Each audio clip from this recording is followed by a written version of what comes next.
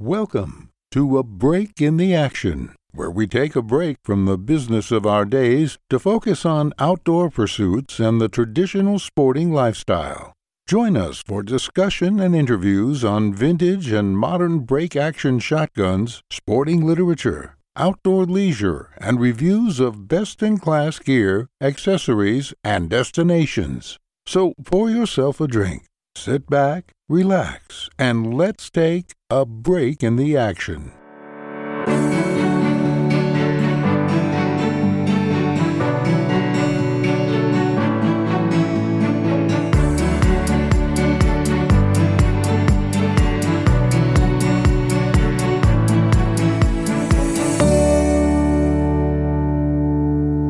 Now here's your host, shotgun collector, wing shooter, and sporting clays enthusiast, Ryan Dowdy. This is the second half of a deep dive into the Christmas Grand Battue shoot at Green Acres Sportsman's Club in Roberts, Illinois. In part one, you were introduced to Keith and Chris. Beginning with breakfast and meeting with the other guns, we made our way through the first half of the day's itinerary and discussed the wonderful Beretta SL3 shotgun. Picking back up where we left off, we've already been shooting now for a few hours. It's time for a break. Come and help yourself. Come and dive in. On a proper driven shoot day in England, Elevensies offer just such a break to recharge with a few tasty bites, a warm up by the fire, and a chance to keep the shooting muscles loose with a taste of a nice port or spiked broth. There, chaps. Keep eating. In the handful of shoots that I've participated in at Green Acres, I always look forward to Elevensies, an intermission of sorts to regroup with the other guns of the day, celebrating great shots, and of course, razzing each other for the easy misses. Keith, Elevensies is an important part of a shoot day. Um, where did this tradition come from? The tradition of elevenses, of course, goes back to uh, the 19th, when, when it started really during the 19th century. And the reason being is that uh, these chaps were going to go out onto the moors or certainly out into the countryside um, in winter weather. And you burn off a lot of energy. Uh, As you found out, you, you, you do two drives. Right. And it's amazing the, the amount of energy that, that you use up. And despite the fact that you, you leave the clubhouse having had a good breakfast, trust me, as you found out, you get out there and all of a sudden you think, God, bloody hell, I'm really, I'm really hungry. Right. Um, and of course, what's happening is is you're using up the calories, you're using up the energy, and in a cold, if you can imagine, a, a chilly climate burns even quicker. Um, so what would happen in those days um, is they would bring the food out to the guns because on many of the drives, the, the guns, and again, hopefully some of you have seen Downton Abbey, where they truly do a great uh, a great New Year's Day shoot. The guns go off in horse-drawn wagons, um, so the the drives were, were could be pretty far away from the main house. So of course you went out there, and then uh, two drives in, uh, the uh, another wagon would come out, another vehicle would come out, um, and they bring out the elevenses, you know, small finger foods, um, hot sausage rolls, Scotch eggs, and then of course because a lot of this was actually created by, of course, the aristocracy, uh, it wouldn't go too far before they needed a cup of alcohol, a glass of alcohol. Um, and of course, to be honest, having spent a whole year running a a Scottish estate in, in the Highlands and having been up two thousand feet um, on a, on a on a drive on, on it, um, in Scotland, it, you really do need a bit of a nip. Um, it became more, I think, um, medicinal than than than of choice. And you needed to keep warm. Right. But of course, the aristocrats, and that's how it comes. And it is true. You you you are going to be away from the main house or anywhere. So the elevenses were brought out. It was always the mid morning break. It gives you a chance to relax, chat to all the other guns, tell tall stories, um, and most importantly, enjoy the hospitality and the camaraderie of the day. That's really that's really where it starts. You know, the camaraderie of the day. And there's nothing better than chatting to people. You know, having a good roast beef sandwich and maybe a glass of port and and it it revitalizes everybody. You you you you get the energy back, and you know you get ready for for the next drives. but it, it's a very important social part of the day. Um, you know, the new guns, people haven't, you know, you, you get a mixed bag. You might have everybody that knows each other. You might have a portion that know each other, and the others are all singles. And so everybody starts chatting. You, you it, and you make great friends. I, I think this is the start. The this is the the centerpiece of the hospitality, and apart from giving you a few calories to burn off on the next two shoots, again, it's just a lovely thing to do. Nothing like being out in the open, glass of port, um, and as I say, a right big steaming hot sausage roll gets you going again. Yeah. Yep. Some people might be surprised by the fact that alcohol is part of the Elevensies tradition. Um, I'll say that enjoying a taste of a nice port or warming up with some of Brenda's special recipe bullshot broth, um, it's not even going to get you started towards becoming tipsy. Um, it's it's part of the tradition, and I really enjoy this bit of authenticity. And, and I'll I'll stress again that that with you guys, safety is always always paramount.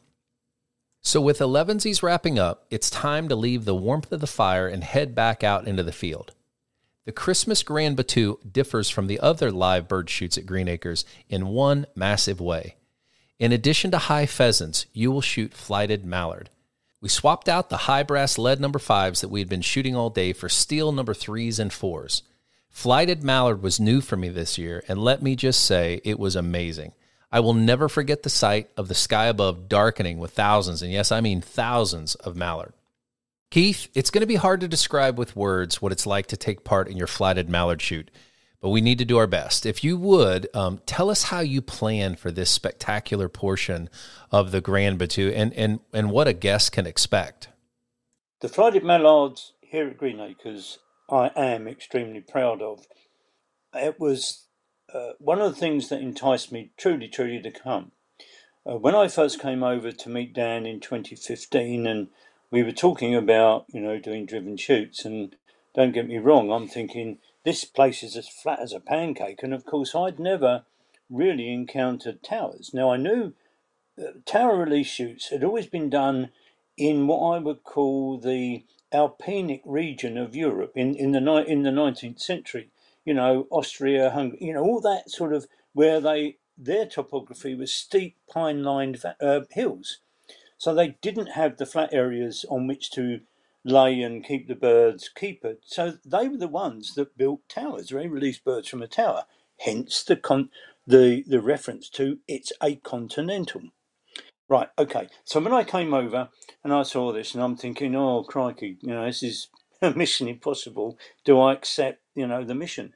And then he took me to the waterway where, where they'd been shooting American standard ducks. And he just got the birds lifted up. And I just looked at them and I said to him, That's it. That's a British driven shoot. It was, and, and it was. See, the big difference is that we push the birds just like you do in England on a shoot. We push all the birds over your head and they keep coming. Um, so for us, the driven ducks are hand on heart a real real British driven shoot. It, it's a real drive. I mean, this year we started out with 2,000 ducks on the waterway. And of course, we get the ducks in in July. Now, these, these ducks are keepered. We get them in as, as young as young breeds. They go out onto the waterway, and then it, um, Hunter, as Tyler does, it's like in England. These are keepered. He goes out every day, every day, and he takes food out because that's the way you, you keep birds anywhere, is the key is nature wants food. Um, but he's out there in all weathers. Uh, a gamekeeper's job anywhere in the world, a proper gamekeeper's job, is not easy. Um, you have to have a passion for it. So he feeds the birds and he's out there all the time. He's feeding, he's moving the birds from, he, he feeds in different locations. So we're moving the birds from one end of the waterway to the other. And so we and now what what we do is after the first main shoot in October, then we that what the boys have done is they've opened up additional areas to the waterway. So what you can do now is once that main flock has been up and flying, um, they can now break up the mass of the flock. So in one area you might have 300 ducks, the next area you might have four, next area you might have two, and then we keep this going. Now this is the most important part that, as you experienced, the you know we lift the ducks um, and they come at you, and it's a 360 degree shoot. You you they are they are going to come at you from all sides. They'll start circling and then what happens is obviously as this first batch is shot at, you know, and they'll start to to uh, tire. Then they're looking for somewhere to drop down. Now, the moment they start dropping down, he immediately and he and his beaters lift the next pond. So we are really creating, and it is exactly the way a British shoot would be done. So there, there's constantly birds, fresh birds coming at you over your head all the time, and then being in touch with Hunter um, as this maybe this second batch start to to to to tire off, we'll stop, and then we'll get all the guns to move up. You know, we change pegs. This gives the boys time to regroup the birds. It gives the birds time to, to get some rest.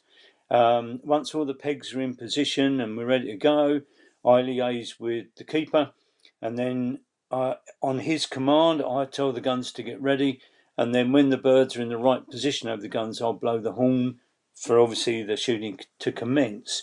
So we we can manage it, and and we we are able to keep the uh, the the sky full of birds throughout that period of the of the shoot. Hope well as you experienced, right? right. Um, and and that's and it's um, we are unique. I, I uh, that's what gives me not only a great pride and, and so on. But we're the with the Ducks, that truly is a British driven shoot, and I and yeah, I'm very pleased to say that that we're we're unique. No, nobody else is doing it. Yeah. Yep. Chris, we both got to experience this for the first time, and um, we've already marveled at and, and, and relived um, what we saw. Give me your description of what you expected when you got to your peg, and then what you actually experienced when the shooting started. Well, what was I expecting? Um, I wasn't sure. Obviously, it was my first time. Uh, but as we lined up on the pegs, I was, I was somewhat confused uh, just initially because you know, a lot of uh, safety activities around the, the pheasant and things of that nature. So we got essentially lined up around the waterway there, the the ponds, and um, I could see someone across from me.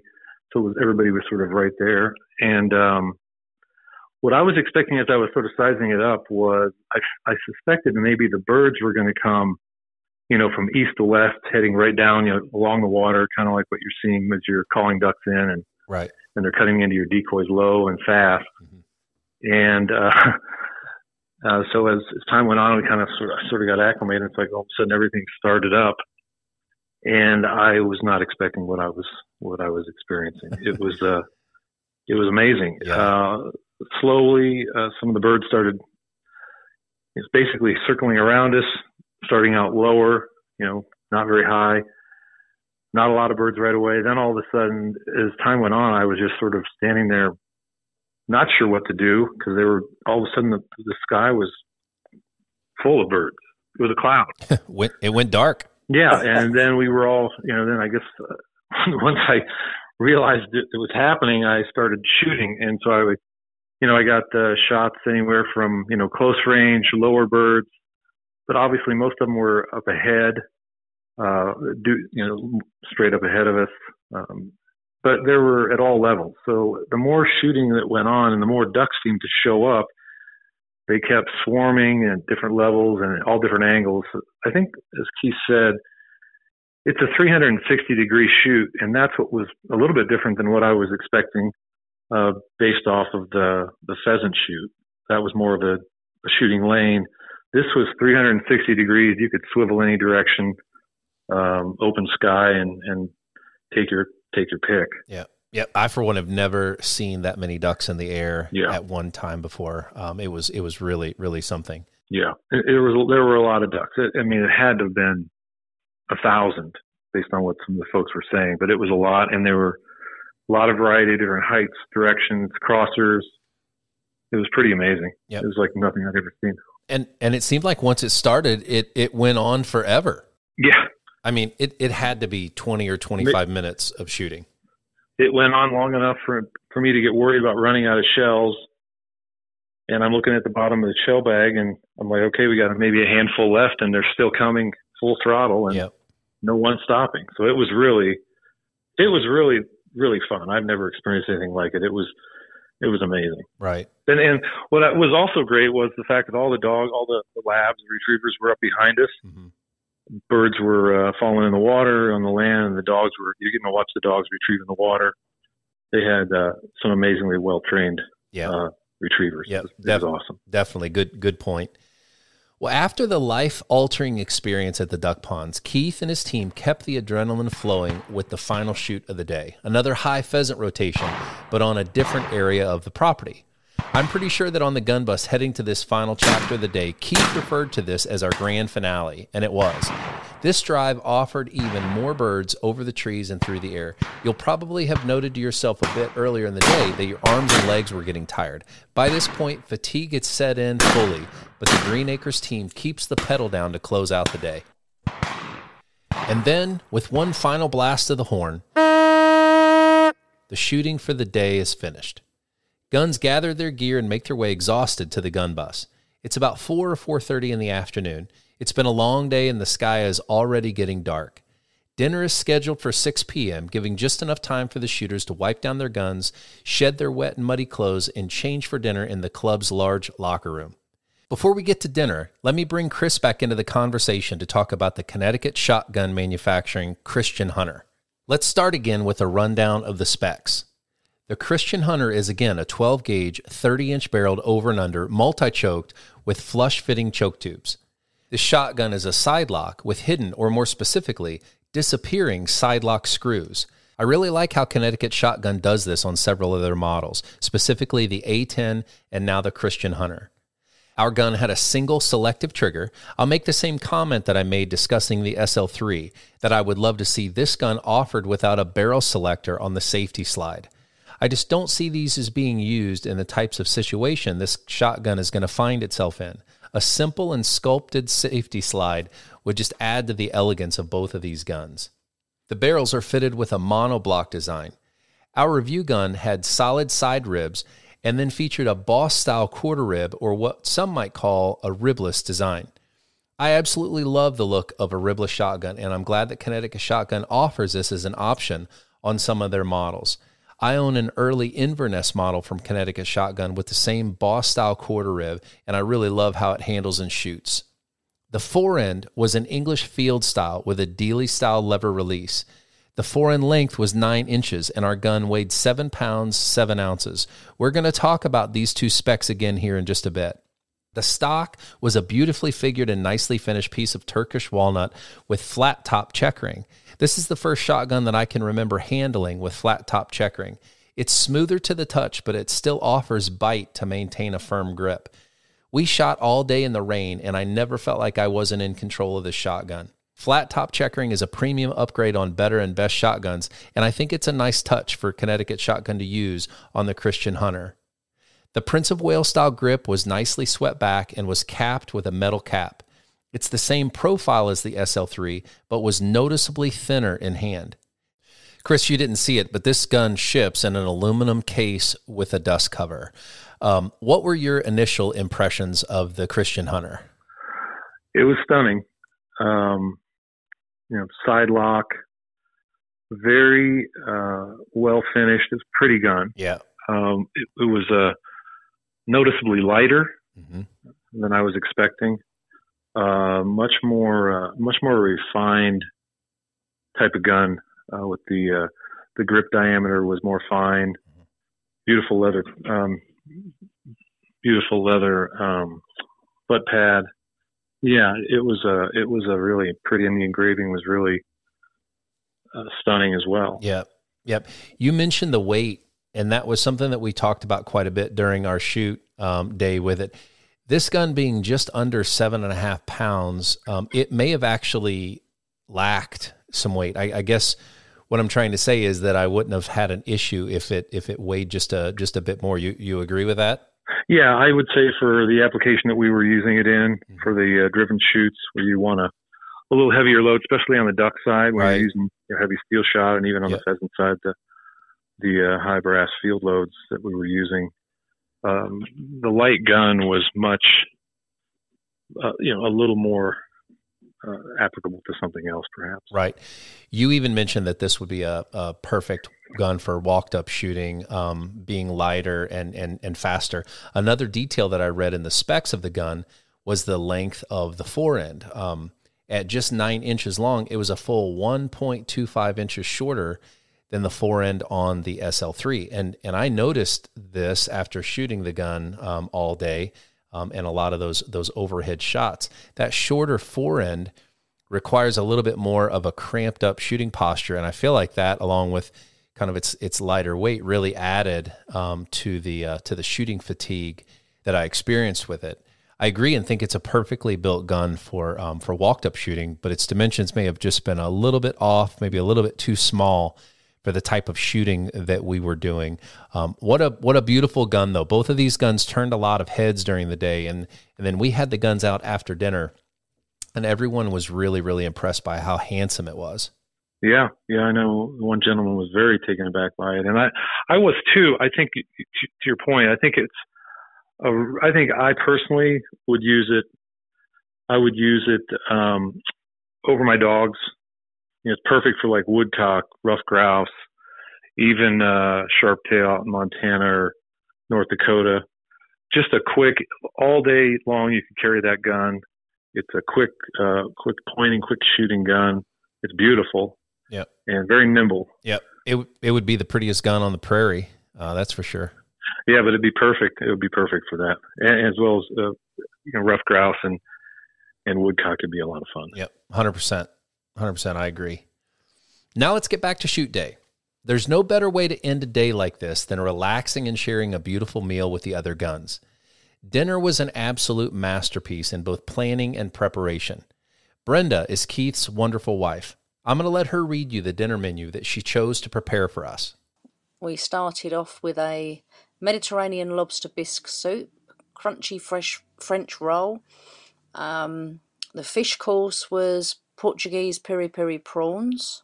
Having been to Portugal, we loved them, so that we went with that. Then there was a palate refresher, a lemon sorbet, and then the mains was a crown of lamb with a minced lamb and herb stuffing.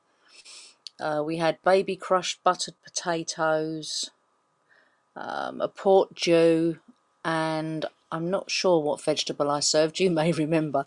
It was it was broccoli. Yeah, was it broccoli? Yeah. it was broccoli. And then I did a traditional Scottish dessert, which is called Cranachan, which is a blend of like a granola that you make up yourself with oats, sugar, and butter, which goes all crispy and it's blended with fresh raspberries and a whiskey infused cream. Honestly, after the amazing day that I've described for you, did you expect anything less? Brenda left off the wine choices that were perfectly paired with each course. We all sat behind a beautifully laid table. I'll let Keith describe this final fantastic chapter of our day. The meal at the end of the shoot is as much and as you said a bigger and as an important part of the shooting itself. Again, Green Acres has given us the opportunity, and I speak for myself and Brenda, who obviously heads the kitchen brigade. Now, although every shoot has to be a commercial venture for Green Acres, for me it's different, and certainly for Brenda, because as you know, we've run estates. We, you know, the main one was in Scotland. We've been involved in running estates in various locations, and mainly, I have to say, for families. Remember, the shoot was always a family and friends affair. Now, because commercial shooting really didn't come into the late 70s, early 80s, so it's a family affair. And that's what we want it to be. Now, of course, the management of Green Acres, as I said, it has to be a commercial venture. But when you come along and when the day is being done, the way I look at it is I'm in, I've invited a bunch of friends to come and shoot on our estate. I mean, I could never, I'm not Aristotle, so I could never afford it. So Green Acres has given me the opportunity to almost have my own estate. So you come along, and the way we view it is you are guests and friends coming to enjoy a shoot and hospitality as guests of myself and Brenda. And we, you know, we take a great personal pride. I mean, obviously, you've experienced Brenda's cooking, um, and and of yeah, and and that's what it is. I mean, as I say, and I'm sure some people think I'm saying a bit of flannel, but it is true. And we love having you here, and we we you know the money.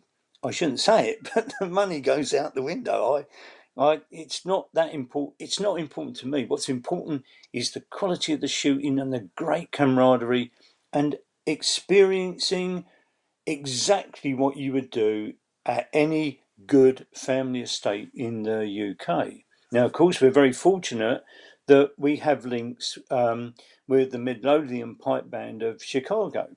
And our original pipe, and he is the pipe sergeant, uh, a young chap named Tom Heinrichsen, who is a champion piper. Tom loves coming along because what we run uh, with the gala dinner is we, we run it as if it, it is a Scottish household.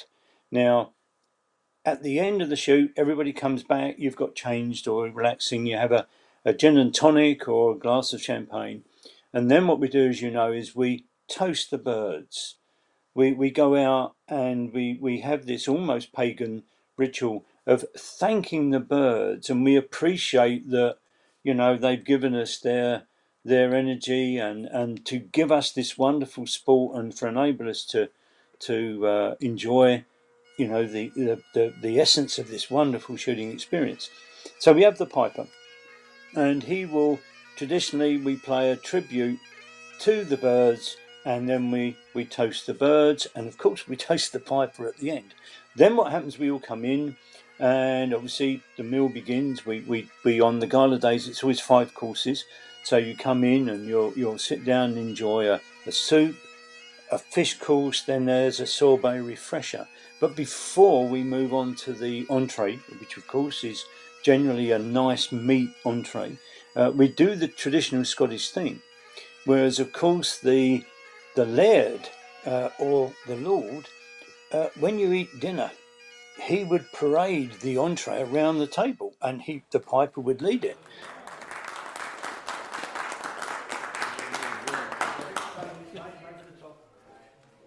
Uh, and then, uh, yep, everybody tucks back into the food, and then generally uh, post shoot where people are chatting as we get into the latter part of the evening, just before uh, we we term it. You know, you have your you you call for carriages, which is the time to go. Um, just before that, you know, Tom and we have a team of pipers that Tom uh, uh, has introduced to us. Um, we normally he he plays a very short uh, Scottish medley. Uh, you know, some reels and, and, some great, you know, tunes, which will gradually wind down to um, a lament, and we actually uh, as he, he plays this, we actually had what we call the uh, um, the lone piper, and as he plays the lament, we, we gradually darken the the hall, the room, uh, until obviously it's dark and he finishes. The day drew to a close under dimmed lights. Each of us had full stomachs and tired bodies. As we finished our wine, we made our way to a long table at the side of the dining room where guests were invited to show off their shotguns. A cased boss, a fabulous and noteworthy exposed hammer live pigeon gun from Purdey, and a beautiful Dickson round action were of special note. The firing pinless SL3 and the Christian Hunter joined the other guns of the day. As we fawned over these wonderful guns, we all agreed that despite the persistent winter rain, the day could not have been any better. Now, while Keith serves as host and orchestrates most of what we experienced, this discussion would be incomplete if we didn't hear a bit about the Green Acres property. Dan Erke and his wife Cindy own and operate this gym in the Midwestern United States. I want to bring Dan on to close out the episode by providing detail about the club. Dan, tell me a little bit about the history of the club and what other services you guys offer. Sure, sure. I will try to be concise. Um, this this piece of property and Green Acres itself has literally been part of my life. So it's difficult to be concise, but I will will do my best. Um, so uh, my father and several other sportsmen in the late 60s uh, were looking for a place uh, to hunt and run their bird dogs. A lot of them were bird dog enthusiasts, and so they kind of blanketed and sent sent uh, all their friends and and family out to try to find a good piece of property that was far enough away from the Chicagoland area because my dad was a veterinarian in the Homer Glen area, if you can imagine that. Um, such that uh, you know within their lifespan, it was unlikely that it was going to get developed because one of their hunting preserves up there uh, got bought out by a developer. So they found this place. It was a, dairy farm uh, in 1969, and they, um, they a group of ten of them bought in and made a little corporation out of it. And essentially, at that point, it was just a playground of them. And then they they learned very quickly there the bills were going to start stacking up on them, so they decided to make it a, a hunting preserve and take on members. And uh, the place was about 350 acres, 320 acres back then, and um, they ran it as a very basic hunting preserve. Um, it was well known for having beautiful land uh, but not many amenities. And so when I got out of college in uh, the late 90s, uh, they were looking for new management. And um, I thought I'd give it a try and had no idea what kind of work I was going to get myself into. but um, it, eh, my wife and I, after taking it on for a year, uh, kind of dedicated our lives to uh, taking it and uh, making the most out of this beautiful area down here. Um, it sits the surrounding us is a lot of flat ground, but we're in this um, kind of like uh, uh, an area where the glacier hit, and it's an unusual little kind of diamond in the rough out in the middle of flat land. It's got some nice contour, and and, and um, it's been allowed to, to go back to nature for many many years. And since then, we've added on uh, acreage such that our entire acreage that we are allowed to use is uh, 1,200 oh, wow. ish yeah. acres. Uh, yeah, so it's it's a very big place, and we've uh, during that time we also uh, were initially it was just part of the do- job to uh, to train a few dogs for members. Um, but like everything else I do, I get intensely focused and uh, started developing a dog training program. My dad had taught me the basics when I was a kid, and then uh, I brought in some other professionals to help me learn the trade. And uh, now we've got one of the, the largest, most well-known dog training operations in the in the uh, in the area, called Gun Dog Success. Um, and so that's a, a, major portion of our business, um, as well as the the hunting preserve. And with the hunting preserve, we have fishing, we have uh, authentic uh, American style waterfowl shoots. We have obviously upland. That's been our mainstay pheasants, chukars, red leg partridge, um, uh, quail, and uh, what's the other one? Uh, Hungarian partridge, all available uh, for our members. And our our property is really well known for the upland because it's it feels like you're just hunting in the wild. Uh, we've done a lot of prairie grass, natural plantings, and um, very big, uh, very generously sized acreages for our upland hunters to hunt, you, you kind of feel like you're out there on your own. And that's why a lot of people come to us. We built a clubhouse, um, eh, which is a, a very nice uh, place to get out of the weather. Um, you know, it's got a rustic decor. And um, we also have sporting clays.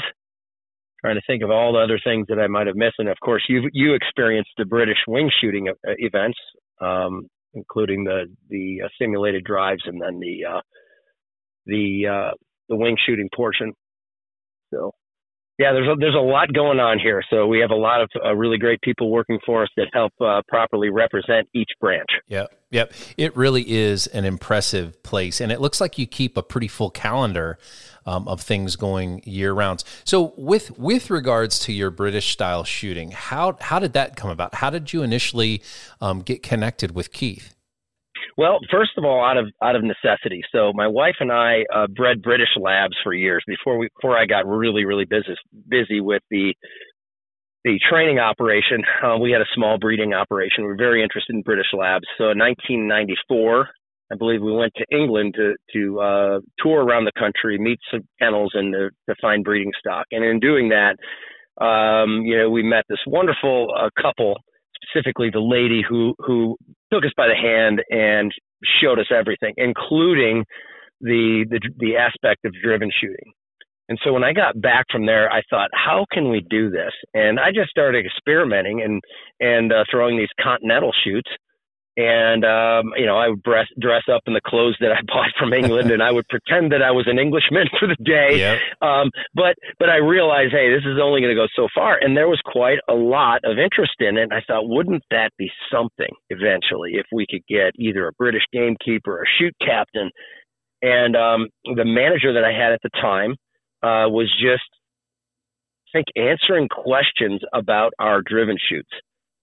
And Keith got on the other end there and they started a conversation. And that was the organic way that we were introduced to Keith Coyle. And of course a couple conversations later and I think he and I were on the edges of our seats of dreaming about hey he's thinking about going to America to to, to start British driven shooting and an operation here. And I'm thinking wow this this might work. Yeah.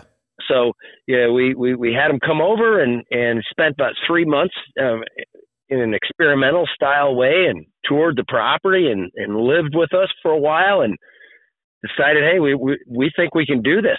And, and that's what we did. So now he takes care of all of the driven shooting uh, events, uh, he and his wife. Uh, and you experienced it. So that's how it happened. Yep. Yep.